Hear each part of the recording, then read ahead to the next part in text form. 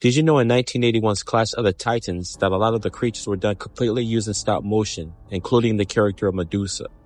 The resulting sequence took over three months to animate and represents the culmination of over four decades of Ray Harryhausen expertise.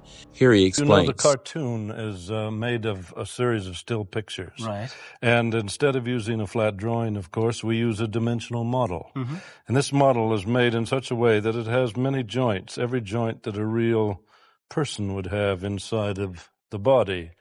And uh, even down to the fingers. Even down here, to yes. the fingers. Yes. Each finger has a, a jo- the proper joint in it, and each snake has a joint. It's not just a wire inside. Right. It gives an opportunity to make microscopic movements. Mm-hmm.